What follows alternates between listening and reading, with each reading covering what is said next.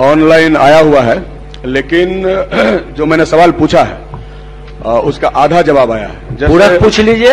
हाँ पूरक मैं पूछ रहा हूँ। जैसे मैंने इसमें सवाल दो उठाया था एक तो ये था कि आरक्षण का उसमें लागू किया गया कि नहीं। तो इसका आया है कि रोस्टर से हुआ है लेकिन दूसरा है कि जो उसमें नियुक्ति हुई है उसमें से उस महाविद्यालय में जो पूर्व के कर्मी हैं उनके ही सगे संबंधियों का ही हुआ है।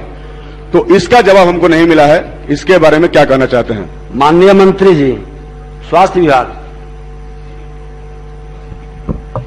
महोदय मैंने स्पष्ट किया है कि आरक्षण प्रावधानों का अक्षरशः अनुपालन किया गया है। तो उस आवेदन में इस आरक्षण के अनुसार अहर्ता के अनुसार जो योग्य व्यक्ति होंगे उनका चयन हुआ होगा। ठीक। महोदय महोदय एक पूरक है मेरा। पूरक ये है महोदय कि मेरे पास ये पाँच लोगों का नाम है। पाँच कर्मियों के नाम है जिनकी बहाली हुई थी इस बहाली में। सत्रह अठारह में।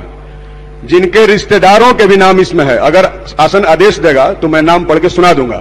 इसमें नाम है पाँच लोगों का नाम मैंने लाया है जिनकी उसी नियुक्ति में बहाली हुई है और उनके जो रिश्तेदार हैं जिसका मेरा आरोप है कि रिश्तेदारों के प्रभाव की वजह से हुआ है उन रिश्तेदारों के भी नाम है। तो पाँच लोगों के नाम मेरे पास है। अगर सदन अनुमति देगा तो मैं पढ़ के सुना दूँगा। माननीय सदस्य उसकी कॉपी माननीय मंत्री जी को दे दीजिएगा वो दिखवा लेंगे इसको।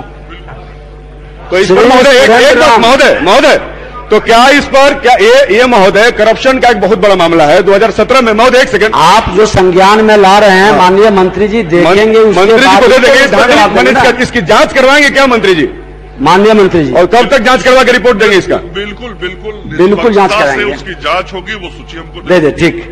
श्री सुरेंद्र राम अब आप नहीं भाई गुस्सा आ जाते हैं आप आराम से आपके बहुत प्रिय और शुभचिंतक हैं। हमारे बहुत नजदीकी हैं।